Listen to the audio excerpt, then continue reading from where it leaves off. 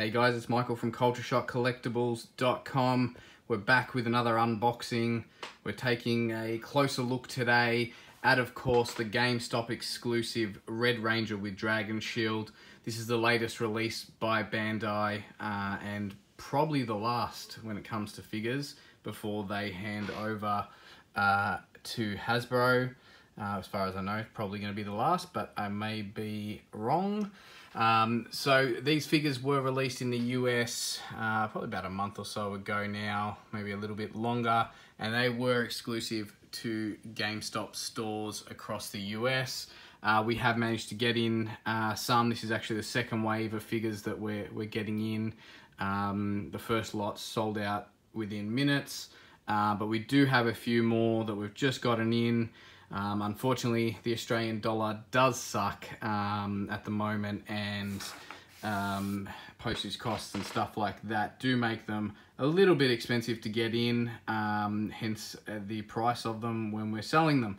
Um, but this really is a must, I think, for any Ranger fan and um, well worth adding to your collection. as you can see, um, they got the gold right. I guess that's probably the, the biggest thing to notice um, when looking at this figure, but we'll get into that a little bit later on. First things first, let's take a look at the box. Let's take a look at what comes in the box. Um, we'll check out the box art here before we get into the actual figure itself. Um, this, of course, um, packaging-wise is uh, the new style packaging that Bandai has done for quite a few of the latest figures. Um, it is a change from, of course, the old packaging uh, that they had. Um, I do dig it. Um, I think the hanger section is extremely large and useless, but overall the packaging still is cool. Definitely not as cool as the original packaging that they used for um, the Wave 1 figures, but still cool nonetheless. Um, of course, you've got the figure in there, you've got some accessories, Dragon Dagger Power Sword, and of course Blade Blaster as well. Um, also comes with a pouch for both the Blaster and Dragon Dagger. Uh, we'll take a closer look at them very soon. Um, on the back, pretty cool posed uh, image of the actual figure. Also some other releases, the blue and red Psycho Rangers are there as well. So not much sort of different from the actual packaging of the um, Psycho Rangers as well. But uh, really cool box art on the back. Um, much better than the front, that's for sure.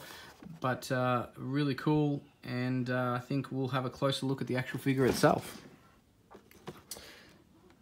So the actual figure is around six inches tall, uh, just like the rest of the Ranger uh, line that was released by Bandai over the last couple of years. Um, as you can see, it does come with the iconic Red Ranger power sword. Uh, the detail on it is pretty good, and the painting is also pretty good. Comes with a dragon dagger to go with the dragon shield. Morpher has a bit more detail than, uh, than usual. Comes with, of course, the pouch for the Dragon Dagger. Blade Blaster in its folded up form that sits straight in the pouch.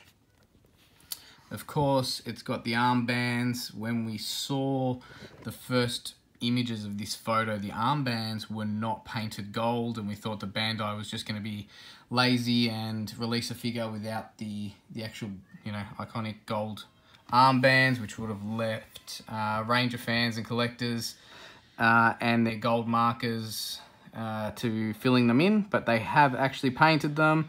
Um, the actual paint detail on them, yeah, it's uh, it's not the best in areas, but uh, at least they actually went to the effort to put some gold paint on it. Um, the power uh, Red Ranger Power Shield, um, or the Dragon Shield, sorry, should I say, uh, is a pretty wicked. Uh, the paint job is not too bad. There is a few sort of marks and stuff like that on it, as you can see, but each figure will vary, I'm sure. Um, as you can see, they've gone to some some good detail, um, and we'll touch on the actual gold color as well um, very soon. One thing I found really interesting about the helmet itself is there is some detail probably missing off this. Um, as you can see, along the front of the helmet, it is missing the line, of course, that goes along the front of the visor which I thought was a little bit strange. I thought it might just be me. Um, so I checked out some reference pictures and stuff like that, and it is definitely missing it. Um, to give you guys an example, take a look at the metallic version of the Red Ranger. Uh, that has the paint all the way around the front of the visor. So if we look at them together, if we can, you can really see it is unfinished there compared to the other figures. Um, to give you another example, of course, we can have a look at the Wave 1 figure. This had pretty much white paint all over it. It's a bit pox there. We've used the actual grey here, and the, the teeth on the T-Rex are much better as well. Um, but still, once again, it is missing uh, that white paint Another example for you guys, of course, is the smaller version uh, that was released a few years ago. Um, it also has the finished visor, as you can see there, full painted. Definitely not the detail in the teeth, but the front is definitely painted. So you can see that again in the two figures. Not sure why that's not painted but it ain't. Um, that's probably, I guess, my only sort of complaint about this figure, really. Just that it looks a little bit incomplete there. Um, but in saying that, um, it's not a big thing. Um, we spoke earlier about the actual Dragon Shield and the colour. The reason I mentioned that is because of this guy. The Zeo Gold Ranger and his cheesy colored shield. As you can see, bit of a difference. Um, I think they really got it right. We'll have a look at, another figure here next to it as well, just to get a, an idea of the color of the shield. As you can see, I think Bandai really got it right with this one. Even Lord Drakkon's gold shield. I know it's a probably a, a, totally different sort of figure, but just to show you the actual comparison here of the figures and the actual shield colors, you can see they really dropped the ball on the Zeo figure. Um, they did all right on the staff, sort of, uh, but then really dropped the ball on that. Um, I think the color is definitely closer to the smaller version that was released years ago. Um, and they really got it right. So color-wise on the shield, well done Bandai for getting that right um, compared to old mate Zeo here. Um, but yeah, overall this figure is wicked um, and like I said before, it is definitely a must for any Ranger fan uh, or collector out there. Um, do yourself a favor and pick one up on, cultureshockcollectibles.com. You will not be disappointed. Um, articulation wise on the figure, exactly the same as the other sort of Bandai releases. Great articulation. You can really put this uh, figure into some awesome poses.